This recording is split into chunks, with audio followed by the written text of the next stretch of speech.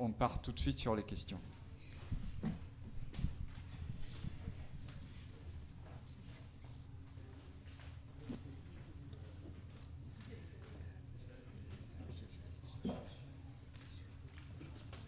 Merci, bonsoir. Euh, je ne suis pas du tout dans, dans, le milieu du milieu et je veux juste une question simple. La diffusion de la télévision actuellement, est-ce que c'est possible par les voies Internet ou non? Parce que pourquoi c'est toujours de la voie hertzienne qui est utilisée Non, c'est les télévisions citoyennes, les télévisions, les médias citoyens en télévision sont diffusés sur Internet majoritairement. Quelques-unes ont réussi à aller sur le câble, euh, mais elles sont marginales. Hein, je pense qu'il y en a très peu. Euh, et la majorité bute sur le fait que la loi aujourd'hui la loi de 86, qui est la seule loi qui existe sur l'audiovisuel, n'intègre pas, intègre la possibilité d'une télévision. En 2000, on a la possibilité de diffuser pour les associations. C'est très, récent. Hein, la loi de 2000, elle autorise les associations à diffuser. Avant, pas. Hein, donc on a beaucoup de retard.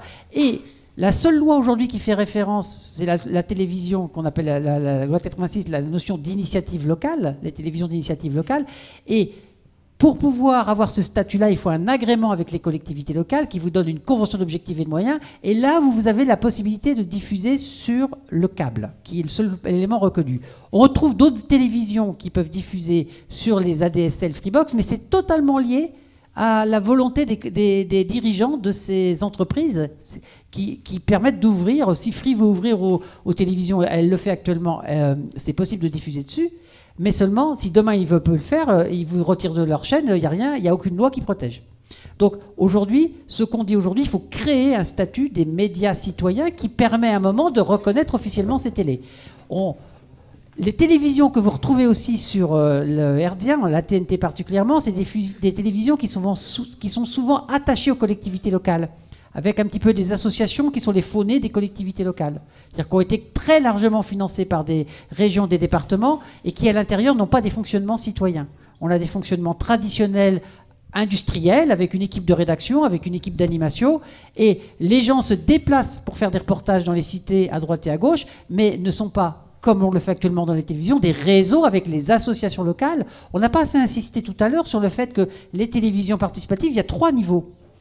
Il y a évidemment le niveau des techniciens, des, techniciens, des, euh, animateurs euh, qui vont former, accompagner. Mais le réseau sur lequel ça s'appuie, c'est le réseau local, c'est les associations. C'est-à-dire que les associations rentrent dans la, dans, la composition d'une télévision. C'est pas simplement une équipe qui dirige et qui va aller sur le territoire, c'est que ça tisse un réseau de partenaires qui font partie de la télévision. Ça, c'est un peu une notion nouvelle. Et la troisième composante, c'est les fédérations, c'est les grands réseaux d'éducation populaire, c'est les grands réseaux de SS qui sont là pour soutenir et qui commencent à pouvoir engager la, visibilité de comment on pourra employer la télévision demain dans l'ensemble des secteurs de, de la vie économique. Donc on on les voit pas sur le RDA. Il y a très peu de définitions. La loi bloque. Par contre, il y a un super réseau qui est derrière pour pouvoir animer, euh, ce type de médias. Bonjour à tous. Euh, je fais partie d'une association euh, qui est un fournisseur d'accès à Internet, donc je peux un peu répondre à quelques éléments. L'association s'appelle FDN, vous en avez peut-être entendu parler, c'est ceux qui ont euh, attaqué la loi Adopi en justice. Et euh, pour répondre à madame qui se pose la question euh, est-ce que c'est bien de faire une fédération FDN a décidé de faire une fédération de plusieurs associations qui fournissent l'accès à Internet parce que ça a plus de poids auprès d'un décideur. On n'est pas une simple association, on est toute une fédération de beaucoup de gens. Ça, c'est pour le point politique. Pour répondre à monsieur euh, au niveau euh, d'Internet, Internet, c'est plein d'ordinateurs reliés ensemble. L'inconvénient, c'est la taille des tuyaux. Si vous n'êtes pas en haut débit, euh, la télévision risque d'avoir du mal à passer, surtout si vous voulez du HD 1080, machin chose, hein, allez voir Confo pour plus de détails. Eh bien, le, par définition, l'ADSL, le A veut dire asymétrique. Euh, on vous donne un débit beaucoup plus dans le sens de réception, consommation, que dans le sens de l'envoi.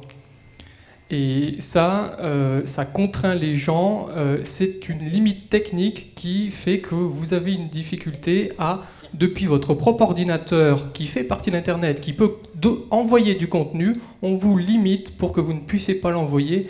Et donc après, euh, il faut passer par des gros opérateurs qui, eux, ont euh, les gros tuyaux.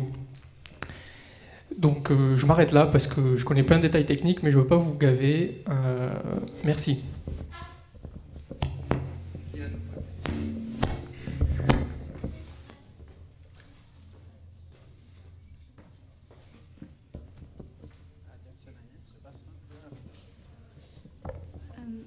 Marielle, euh, euh, IRL vidéo, euh, euh, elle continue femme ou elle a élargi?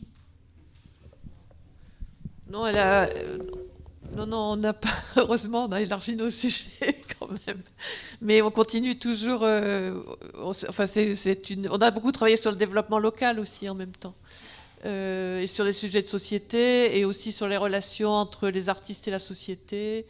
La question des, enfants. euh, là, il y a notre collègue Yon qui fait un gros travail sur les, avec des handicapés aussi, un travail de réalisation de films, de conception de sites, justement. Donc, euh, non, non, on a élargi. Mais enfin, ce sont des thématiques sociales, hein, en général, sociales et culturelles.